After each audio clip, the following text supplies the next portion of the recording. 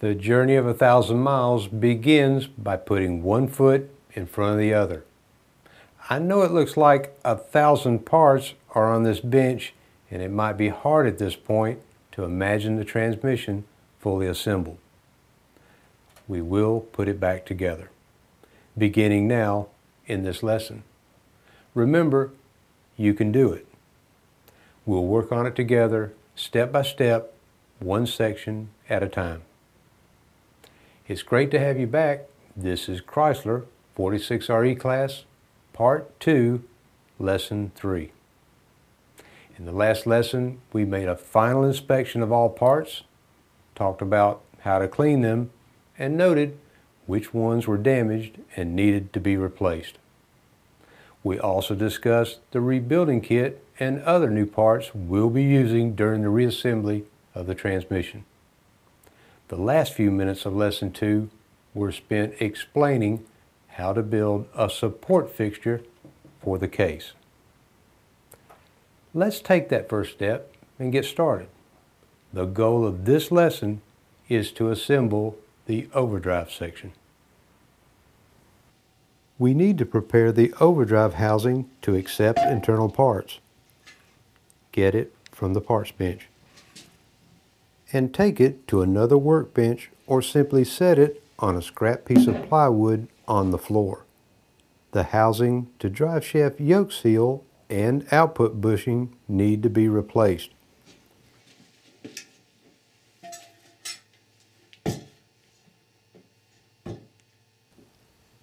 Use snap ring pliers to remove the rear output shaft roller bearing retainer and set it aside.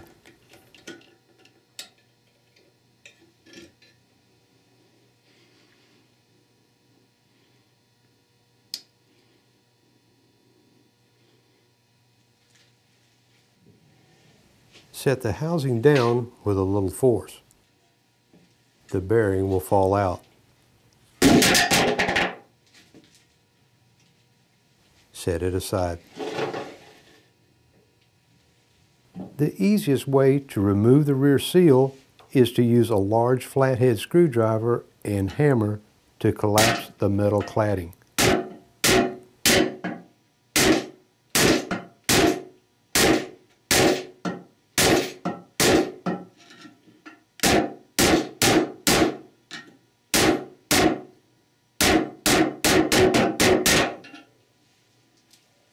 The output or extension housing bushing is the largest bushing in the transmission and can be removed by driving it out with a suitable bushing driver or another way.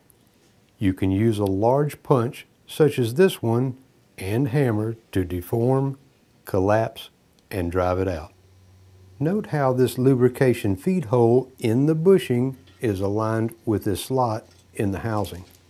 I suggest placing plywood underneath the housing in order to protect the gasket surface from being marred by rough concrete.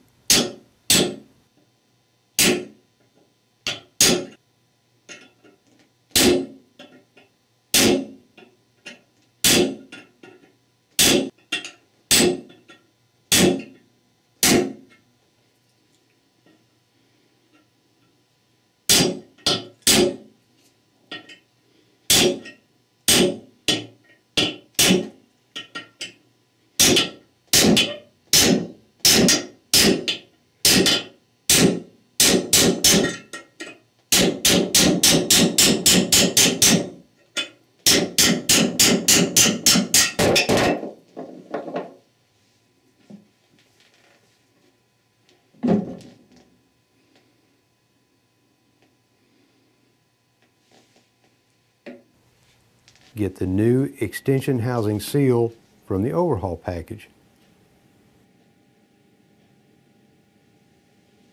We'll also need the new extension housing bushing supplied in the Deluxe Super Kit.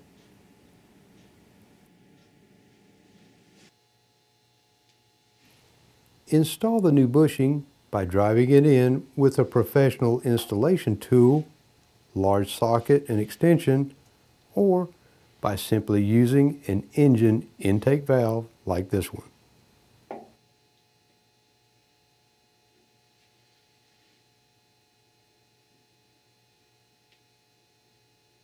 Set it like so at the entrance to its bore. Make sure that you align the hole in the bushing with the fluid feed slot in the housing.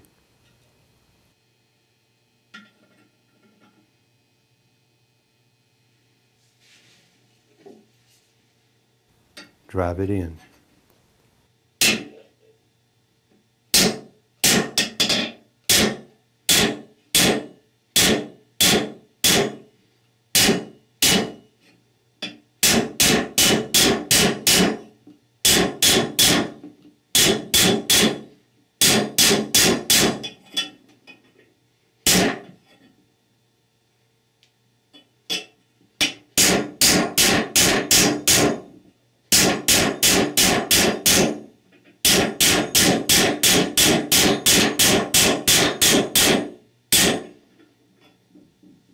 Installed correctly, the end of the bushing should be flush with this surface.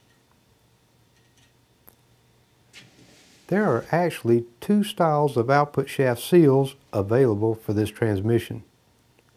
In addition to the seal which comes in the overhaul package, another type with a dust boot is available. Even though the seal supplied with this kit is fine to use, this seal with an additional dust boot is the type Chrysler installs on all rear-wheel drive transmissions.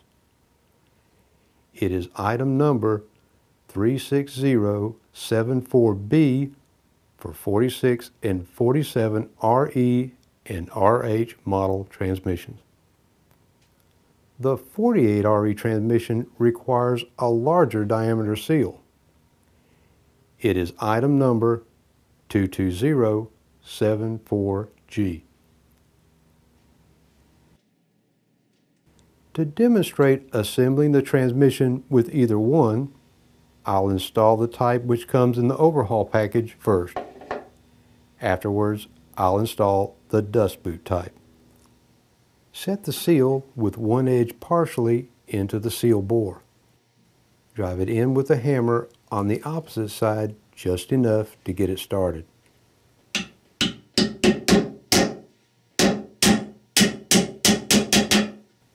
Use light blows to evenly drive the seal completely in.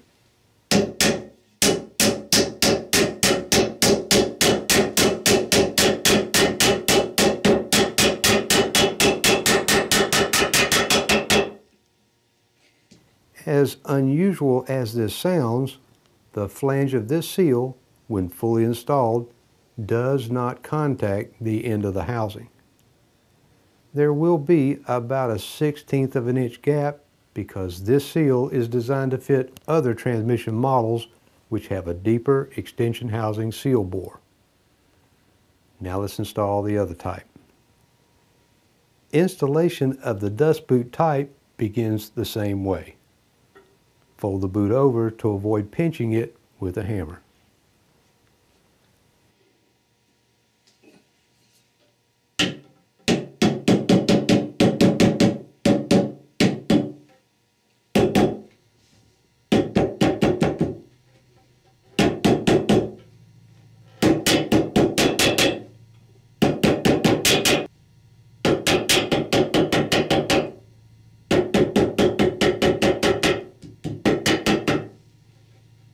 The flange of this seal, when fully installed, will be against the housing.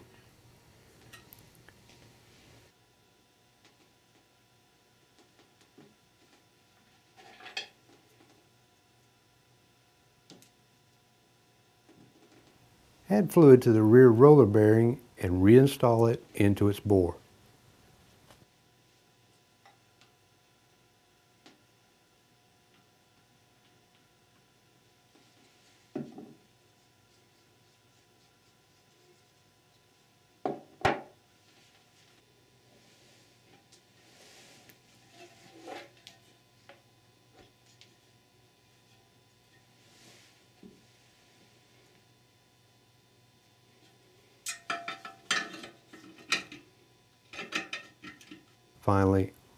install the snap ring, which retains it to complete the housing preparation.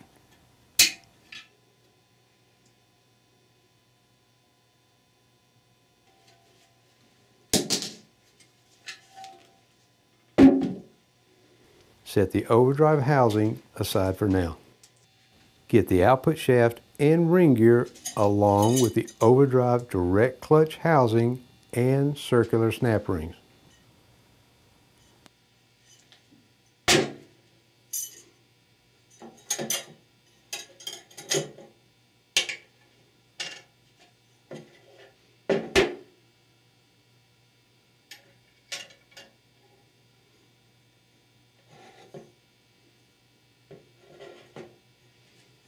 Slide the housing partially onto the ring gear.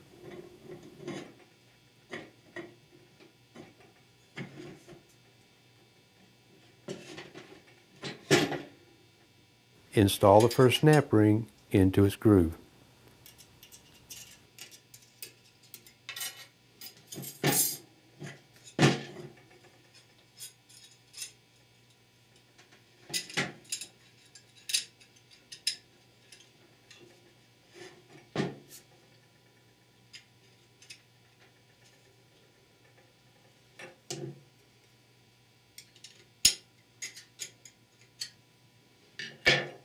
Pull the housing away from the ring gear to expose the groove for the next snap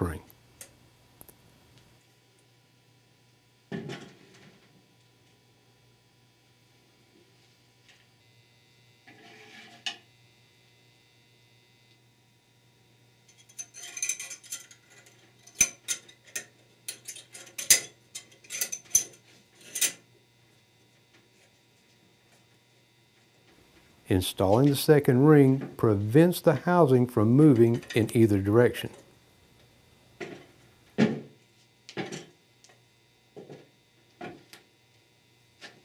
Add fluid to pre-lube the roller bearing.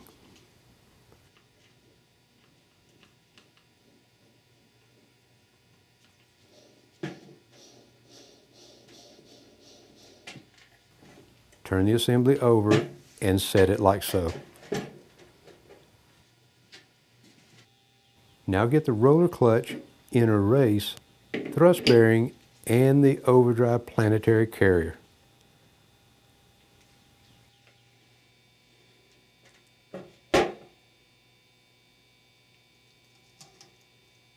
Pre-lube the inner race to output shaft thrust bearing.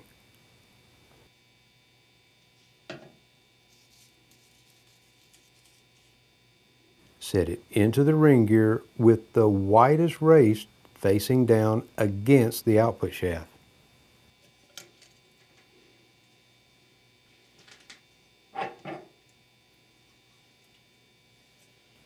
It will not sit correctly on the inner race if you try to install it backwards.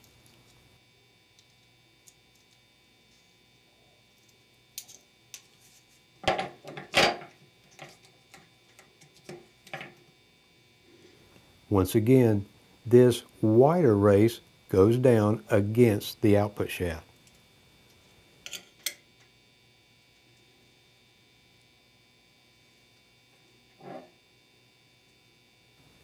Add fluid to all of the rollers of the roller clutch assembly.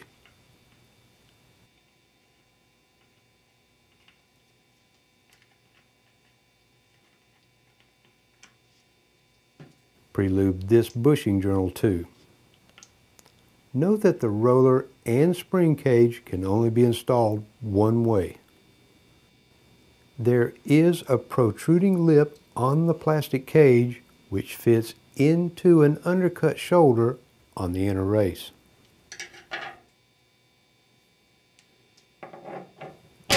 Remove the roller and spring cage assembly from the inner race. Turn it over and carefully set it into the bore of the output shaft.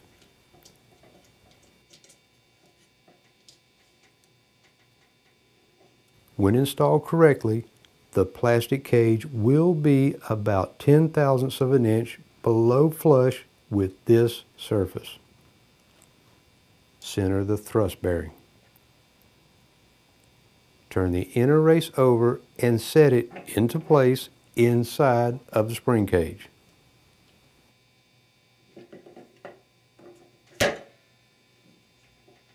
It will rotate freely in a counterclockwise direction.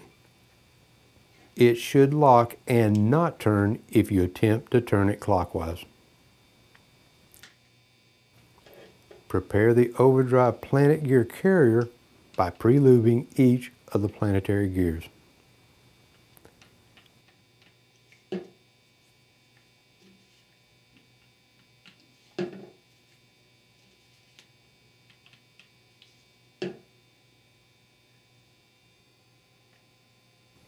Add fluid like so to ensure the small thrust washers and needle bearings have some lubricant on them too.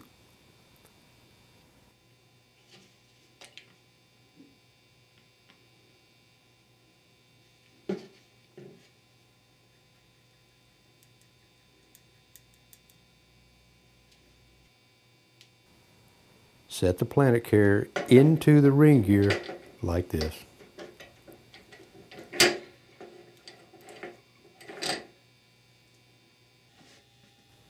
Get the overdrive sun gear, thrust bearing, spring, and inner hub from the parts bench.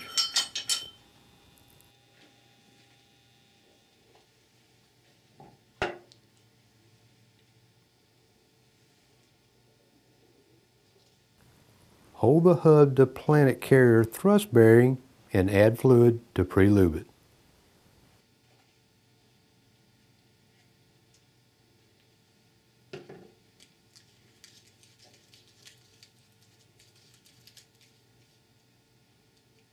Install it onto this bearing support with the narrowest race against the support.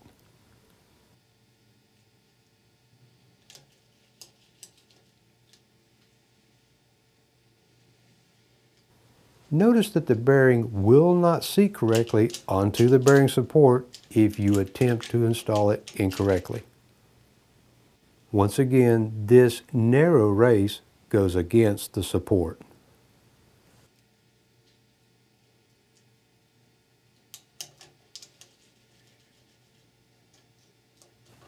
Use Transgel or a small amount of bearing grease to mount them together.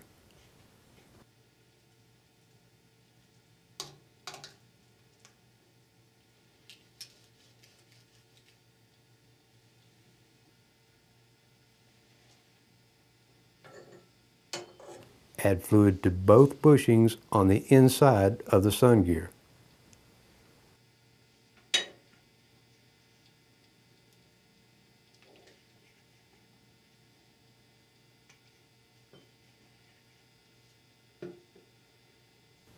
Turn this assembly over and set it onto the planetary gear set.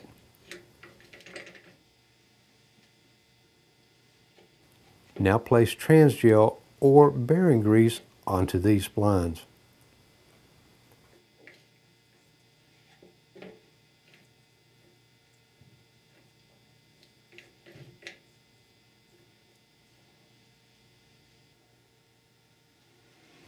Set the large spring into place on the bearing support.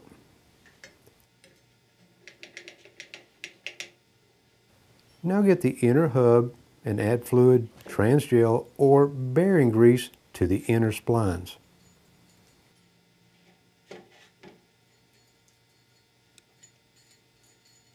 Turn it over and set it onto the spring and make sure that it splines with the sun gear.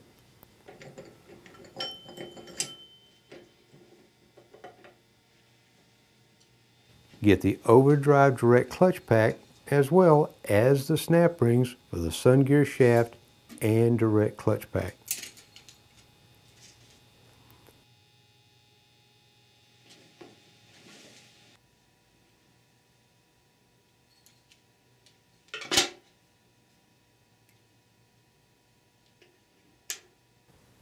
The overdrive direct clutch consists, first of all, of a unique end plate with a relief cut into it, which fits over the extended part of the splines on the end of the inner hub. The next part group of the clutch pack is a sandwich of friction and steel plates.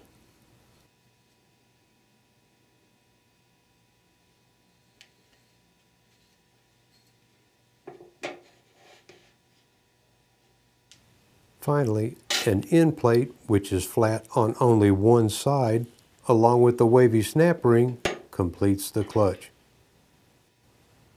At this point, discard the original wavy snap ring. Remember that regardless of how it looks, it is actually weak from age and fatigue. Old ones can break into several pieces and fall out of the snap ring groove. The result is a sudden loss of reverse. We'll need the new friction and steel plates as well as the new wavy snap ring from the Deluxe Super Kit. The overdrive direct clutch friction and steel plates are easy to identify because they have the smallest diameter. Here are the friction plates. A total of 10 are supplied in this particular kit. Here are the steel plates. There are a total of 9 in this kit.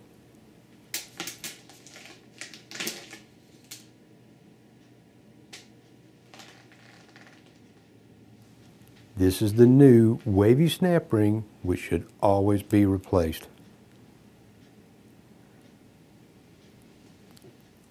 even though the old original friction and steel plates are in very good condition and could be reused, we'll replace them anyway. Depending on model year and which engine it was paired to, the number of plates in this clutch pack will vary. You must carefully count and replace them with exactly the same number of new ones. Our demonstration model has eight friction plates.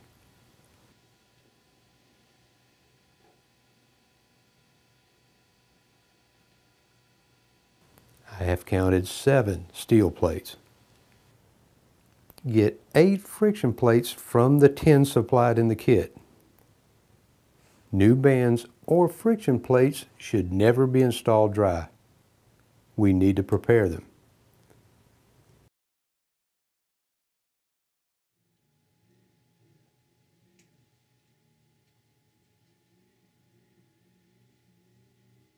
Pre-soak the plates by dipping them into a small container of transmission fluid.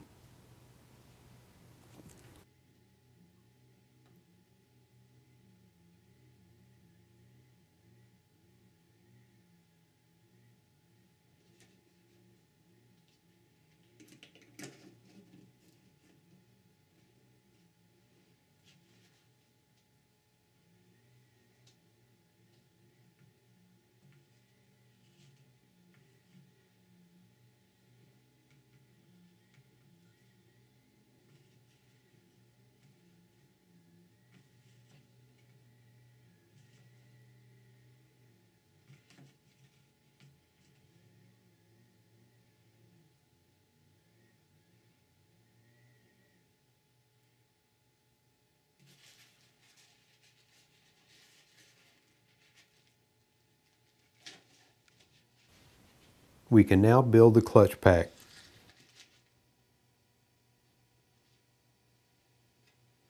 Begin by installing this end plate.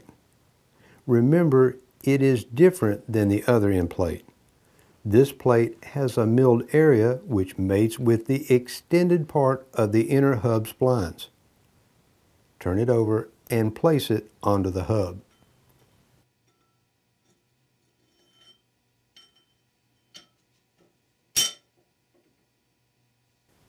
Install the first friction plate next.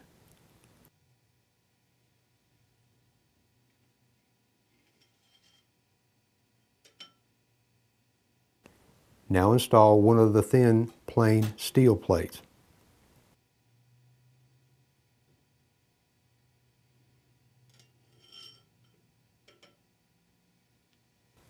Install a friction plate.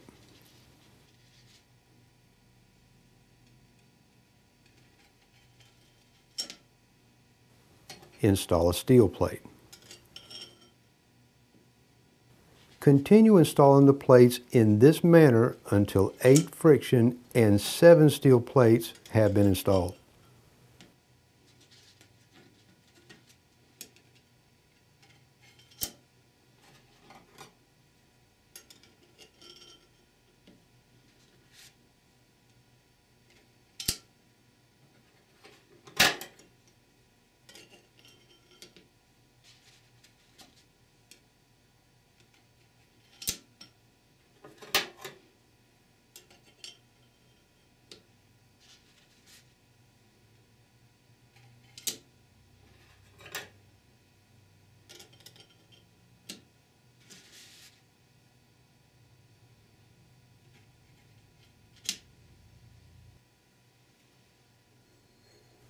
Finally, add this end plate which is flat on only one side.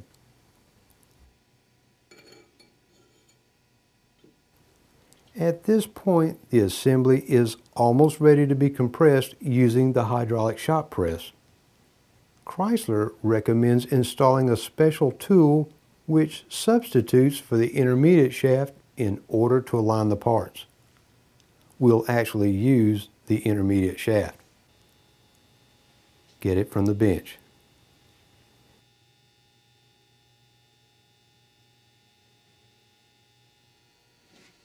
Install the shaft into the assembly. This pilot should go all the way into the pilot bushing in the output shaft. Inserting the shaft does two things. First of all, it aligns the splines of the roller clutch inner race with the splines of the planet carrier. It also aligns and centers the bushings in the sun gear with the bushing in the output shaft. Remove the shaft without disturbing the alignment.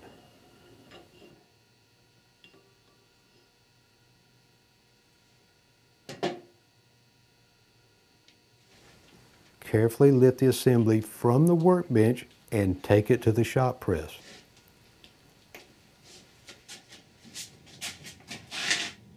Set it into the press as carefully as you can, centered beneath the jack. Temporarily remove the plates which go down into the housing and set them aside.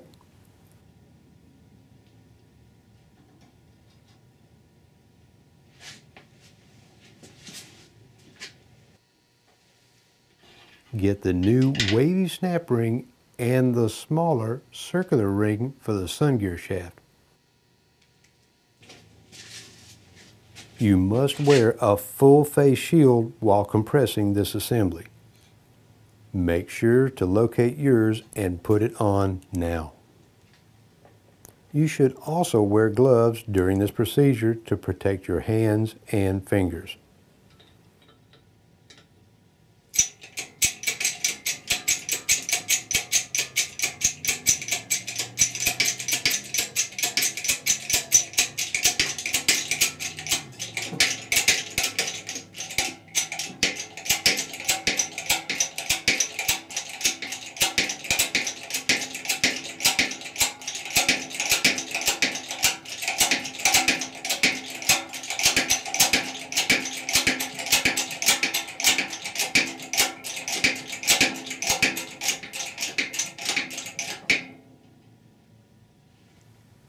The circular snap ring into its groove on the sun gear shaft.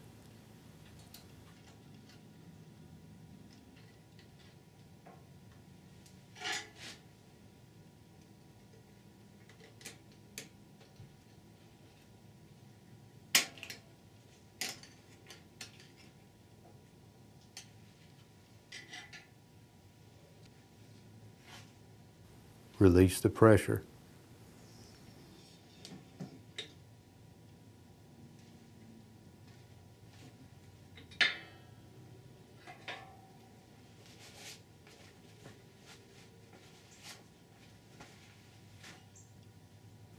Reinstall the stack of plates onto the inner hub.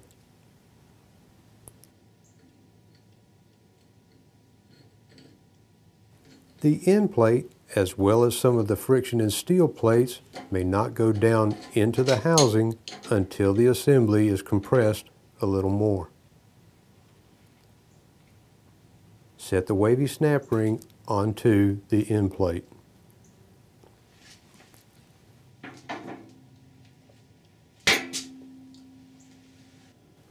Set the assembly onto the floor and insert the intermediate shaft to align everything again.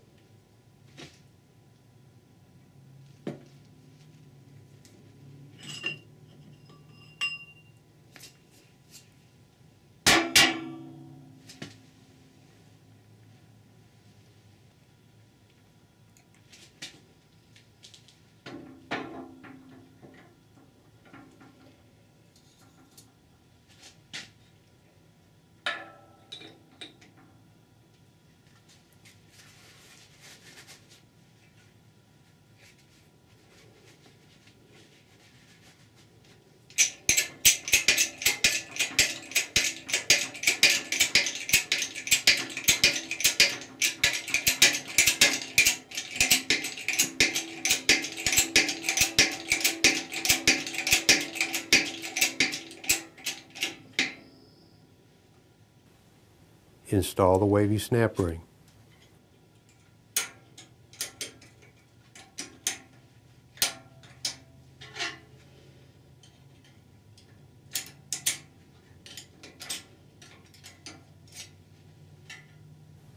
Release the jack pressure.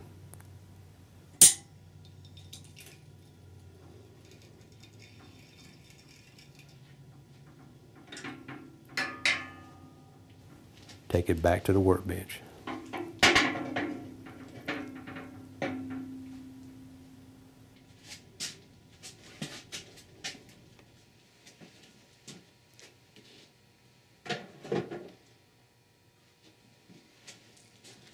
Install the intermediate shaft again to confirm everything is still in alignment. Add fluid to these bushing journals and attempt to push it in. If it feels tight, try to force the shaft in with only hand pressure. If it will not go in, stop.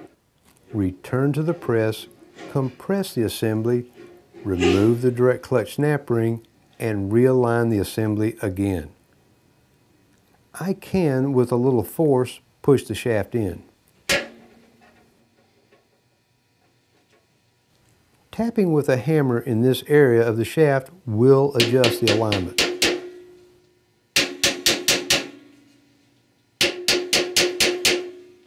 Now the shaft can move freely.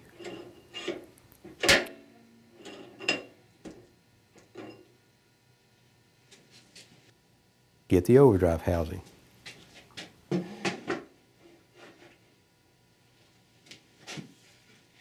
Before installing the overdrive assembly into the housing, check to make sure the snap ring groove on the output roller bearing is in the right position.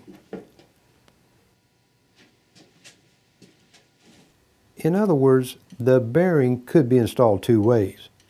Make sure it is installed so that the groove is the farthest from the ring gear. Slide the assembly in until the roller bearing is against the large snap ring in the housing.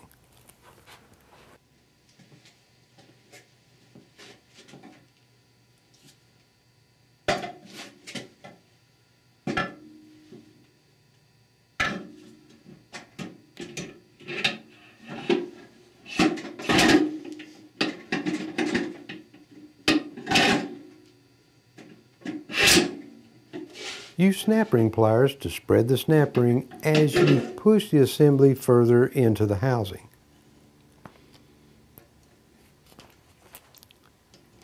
Move it back and forth until the ring snaps into the groove. The entire assembly should turn freely. Replacing the snap ring access cover is next. Get it from the small parts box we'll need the steel cover, old gasket, and the two Torx bit type bolts which fasten it.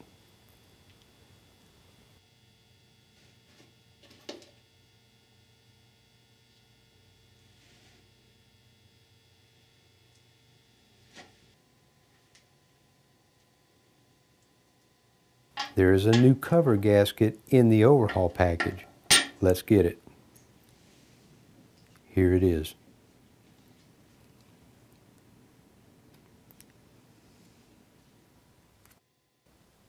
Set the new gasket and cover plate into place and fasten it with the bolts.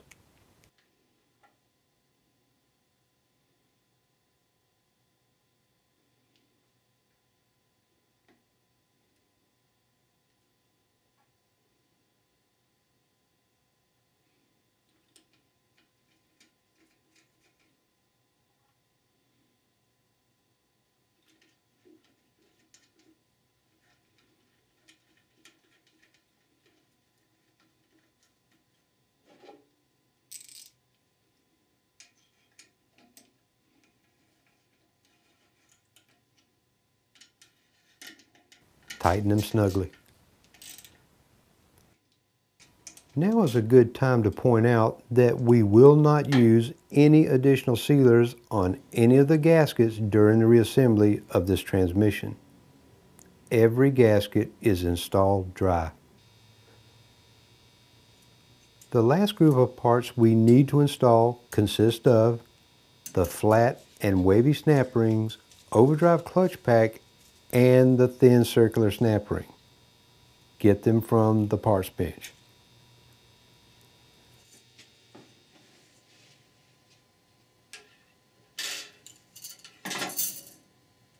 This flat snap ring is installed next.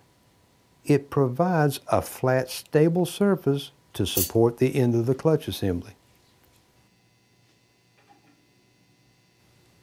The snap rings go into this groove.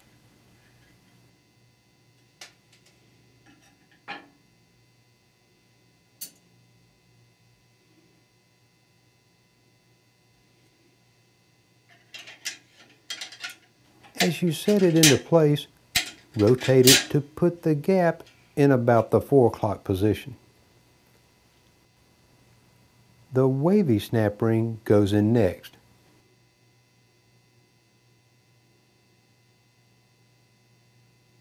Align the end gaps with this wide slot in the housing.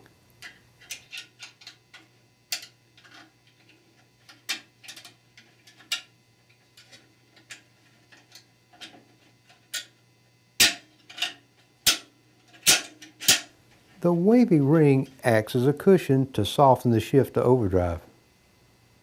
The 48RE models do not use a wavy type snap ring. They only have one flat snap ring in this area. Installation of the overdrive clutch pack is next. Not only the thickness of the end plates, but also the number of friction and steel plates varies depending on transmission model. This 46RE model has two identical 216 thousandths of an inch thick end plates. Even though these examples are discolored, they are actually flat and will be reused.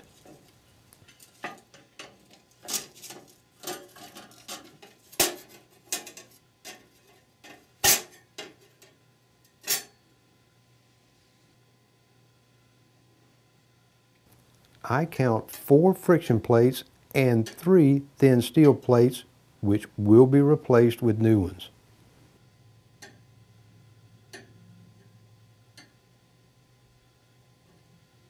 Let's get them. The kit comes with a total of five overdrive friction plates to accommodate various models. You will find a total of six overdrive steel plates.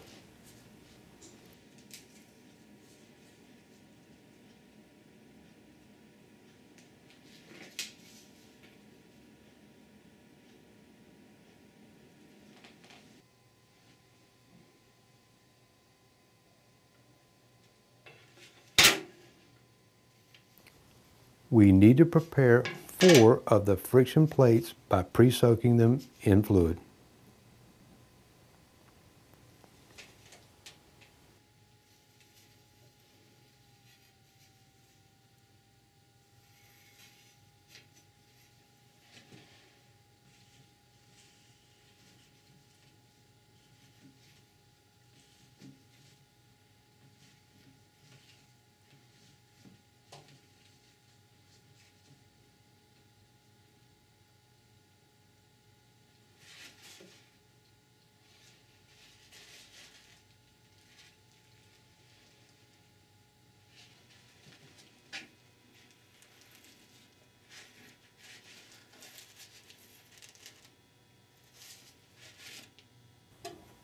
Installation of the overdrive clutch begins with an end plate.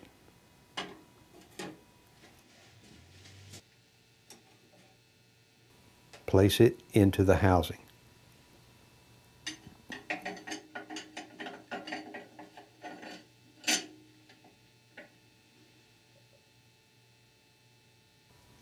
Place one of the pre-soaked friction plates onto the inner hub.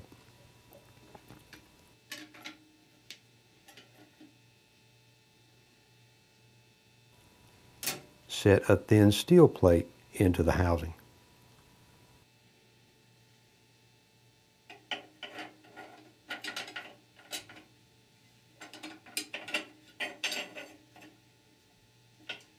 Put another friction plate onto the hub.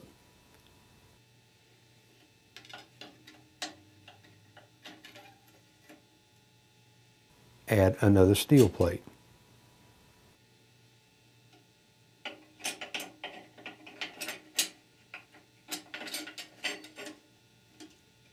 add a friction plate.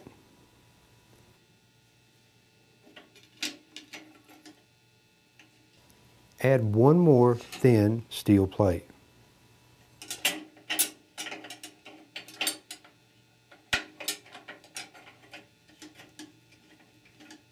Add the fourth and last friction plate.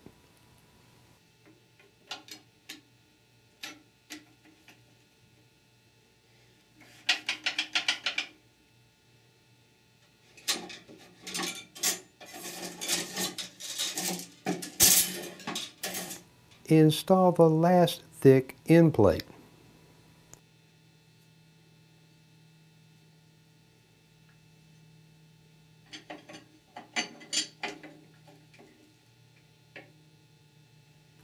Finally, complete the clutch pack installation by replacing this very thin circular snap ring into its groove in the housing. Its function is to simply hold the plates in when you rotate the housing vertically as you set the assembly onto the main case.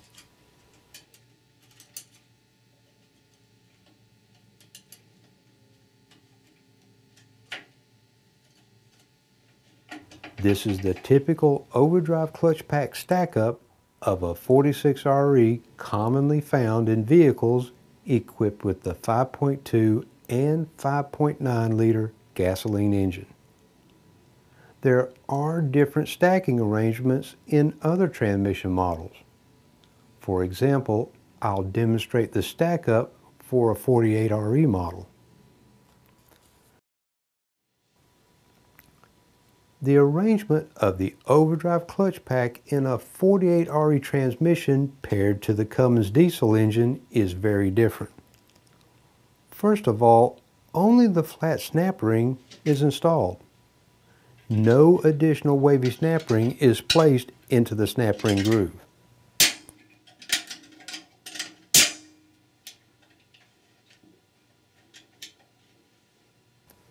A thinner stepped in plate, item number 12140B, goes in next.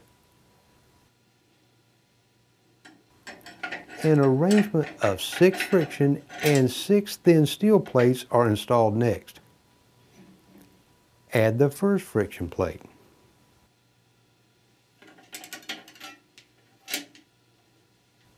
Add a thin steel plate.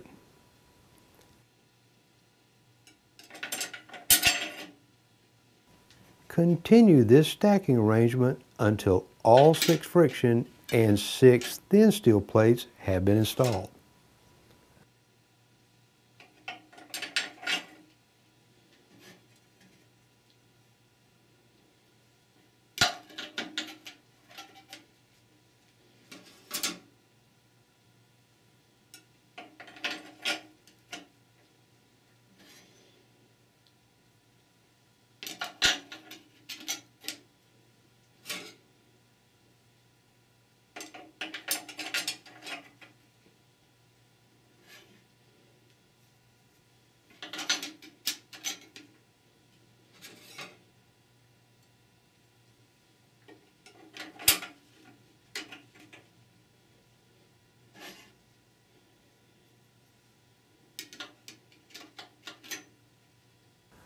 The sixth thin steel is actually the final plate on the 48RE transmissions that I have worked on.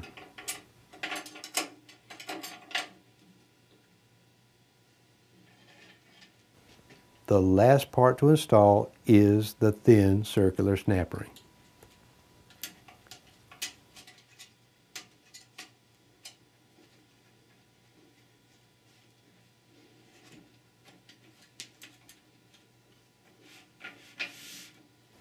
You may encounter other stack-up arrangements in addition to these two examples. It's very important that you carefully count the old plates and replace them with the exact same number of new ones. This concludes Part 2, Lesson 3, but I do have an important final note.